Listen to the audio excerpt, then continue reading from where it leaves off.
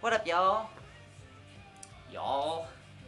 So, you guys have asked me on YouTube about this guitar, and I thought I would do a review um, before it's gone. Um, this is an Epiphone G400 Custom.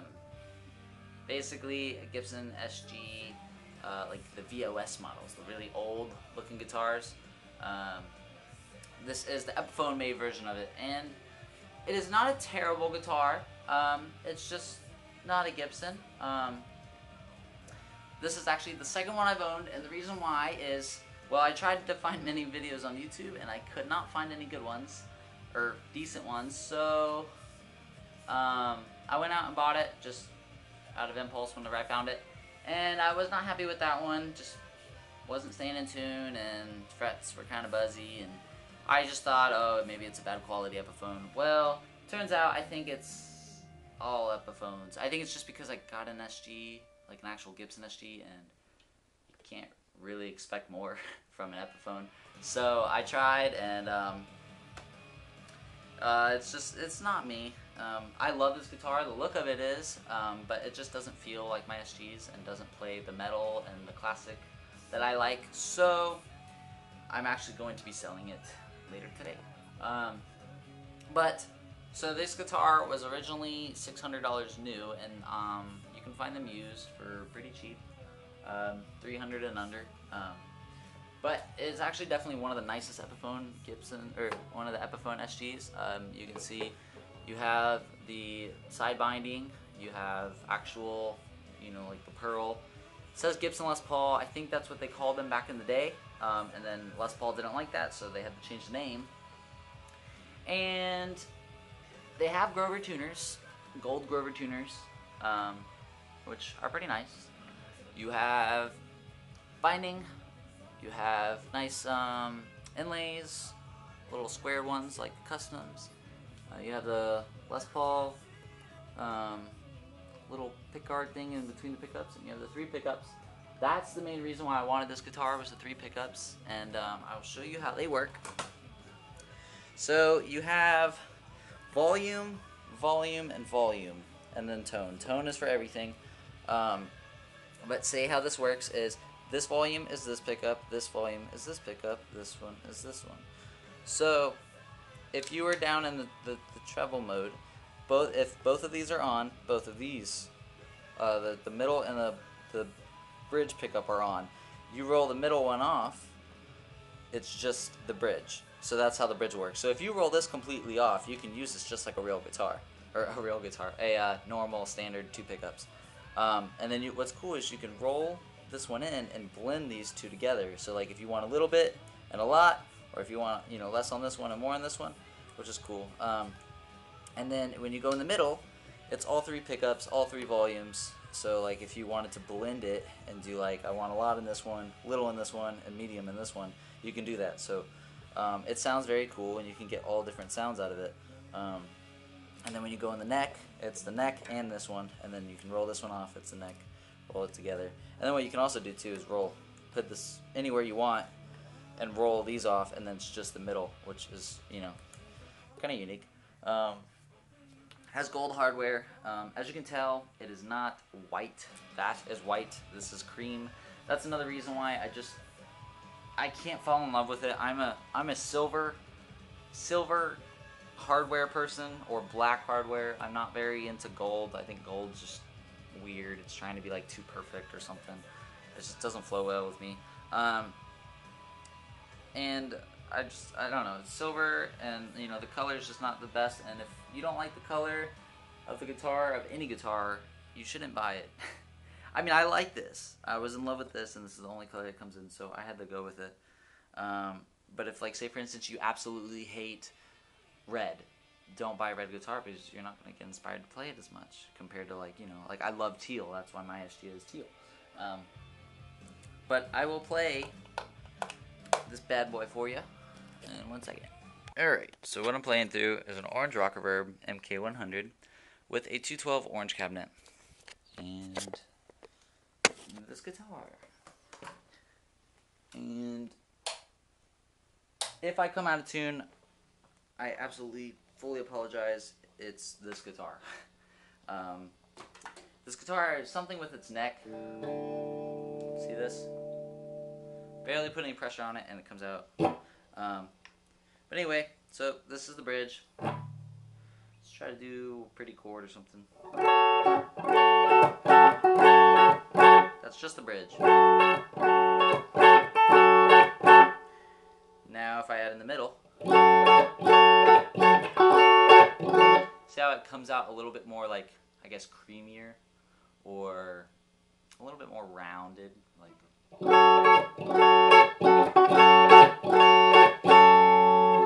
Take the tone off. I never mess with tones, but um, so what's cool is you can blend them. So like say for instance, if I wanted 50 or 100% of the middle pickup and 50% of the uh, bridge pickup, you can do that. And if you want them both full on. And then let's go to the middle. It is all three of them right now. And say for instance you take the middle one out, then it's the middle pickup gone. Just like the normal guitars in the middle position. Um, you can take the bridge out and just do these two. You can do all of the ones you would do in flipping just in the middle position, which is pretty cool. Um, but what's, what I think is really unique about that is you can do like say I want 70% pickup in this, 100% here, and like 25% this. So, so like for a clean guitar, I think this is really cool because you can get any kind of cleans. Um, I think that's really cool because you can get as much highs as you want and how much lows. Um, and then you go in the neck pickup or the neck position, and it's neck pickup in the middle, and then and then if I want the neck pickup or the middle pickup gone.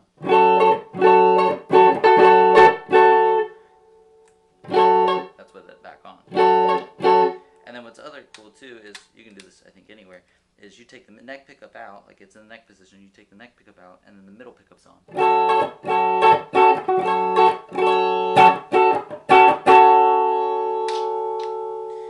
And then bring them all back.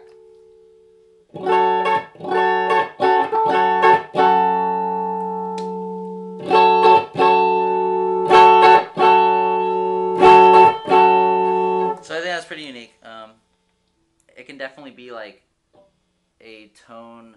Um, like what I did, I don't know if you can see, but I adjusted the pickups to all different heights. Um, the bridge and the neck are, or the middle and the neck are almost the same, and then the bridge a little bit higher. Um, the reason why I did that, it just seemed like the middle was fighting too much with the bridge, and it was like just not.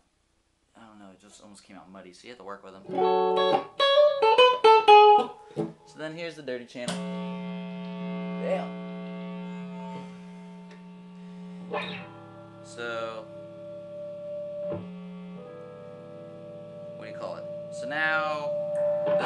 Bridge. So I'm just gonna do chords or something just to make sure.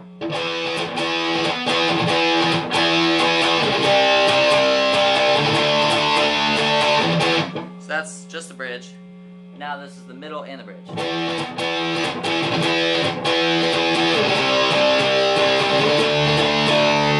Now this is all three.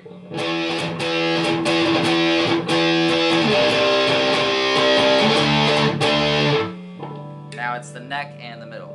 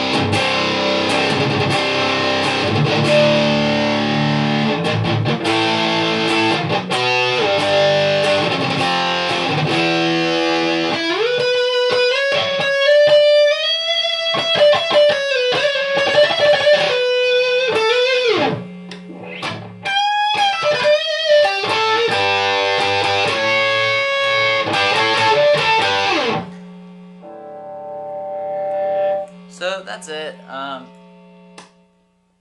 it is not a bad guitar. Um, it's just honestly, it's Epiphone's pickups. I'm just not a fan of. I even switched them out in my um, Les Paul, the Korean-made one. Um, they're just not. I don't know. They're kind of muddy. So then you put three muddy pickups together, and it's just kind of. You know, I originally got this guitar and wanted to put EMGs in it. Now, if you know how much gold EMGs cost, way too much money. So I'm not doing it.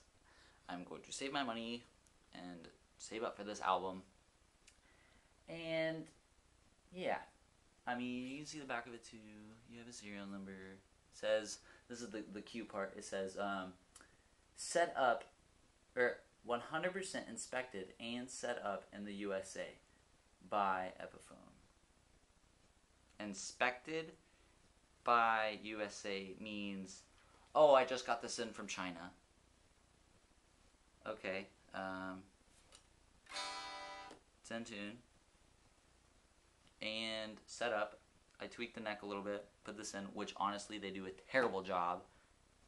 USA, if you are putting your name on these guitars and you say you set them up, set them up right because you're not doing a good job.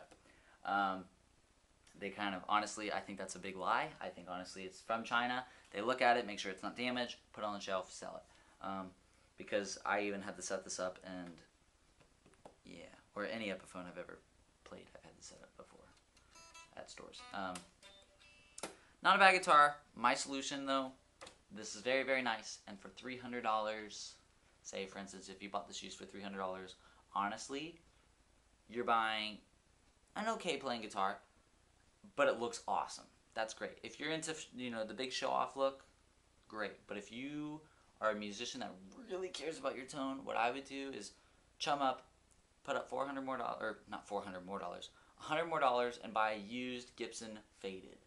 Gibson Faded. They are everywhere. They're very very common, and it's Gibson quality, just not without the paint and all the fancy inlays and the little crazy dots and stuff. But it's a good guitar. Um, it sounds way better.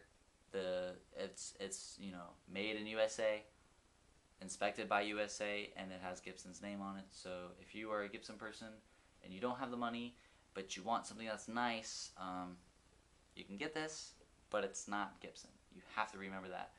This is how I think about it. Gibson says you know, Gibson. We have Gibson guitars, and then the lower grade of Gibson is called Epiphone. Totally different name. You can't even relate them, but they look alike. Fender, on the other hand, Fender USA, and then there's Fender Mexican. It still says Fender on the guitar. Fender is very, very proud of their Mexicans, of their Mexicans, the people, uh, the Mexican guitars. And then Squier is what